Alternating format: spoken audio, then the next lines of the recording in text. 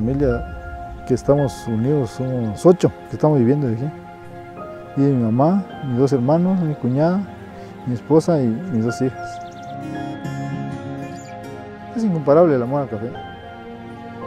No, no sé ni cómo escribirlo porque la quiero igual que, que mi mamá, porque de aquí las, las adoro las matas también. Las abrazo las matas. Las matas son muy bonitas. Aunque no lo crean, es una emoción muy bonita.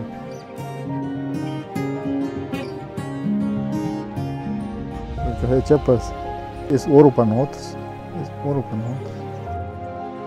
Ver crecer las plantas, ver la semilla, recibir la semilla, ponerla a, germinar y ver crecer este vivero es algo impresionante, es, es un sueño para mí. Tenemos la mejor, el mejor café del mundo, podría decir, en su taza, en su sabor, en su aroma, en el cuerpo, y eso nos hace ser uno de los mejores productores de café.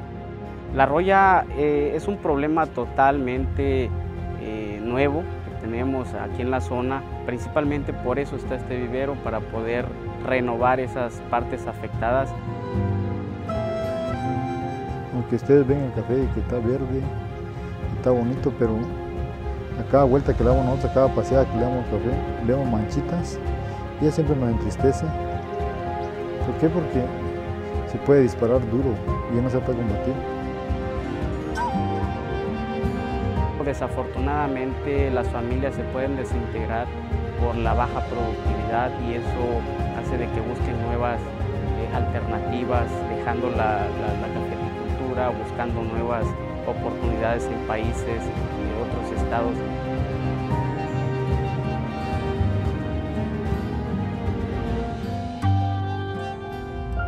En este vivero mi trabajo es producir plantas de calidad, eh, más que nada eh, darles al productor este, unas plantas excelentes.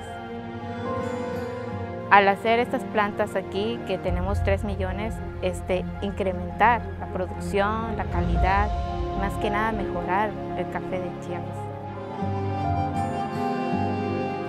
Mi trabajo aquí, como el nombre lo dice, vivero, yo vivo acá. Aquí no eh, tenemos un horario de decir me quiero ir a... No, aquí la planta es un ser vivo, el cual requiere el cuidado todo el tiempo. Todos sembramos café. Todos sembramos café. Todos sembramos café. Todos sembramos café. Todos sembramos café. Todos sembramos café.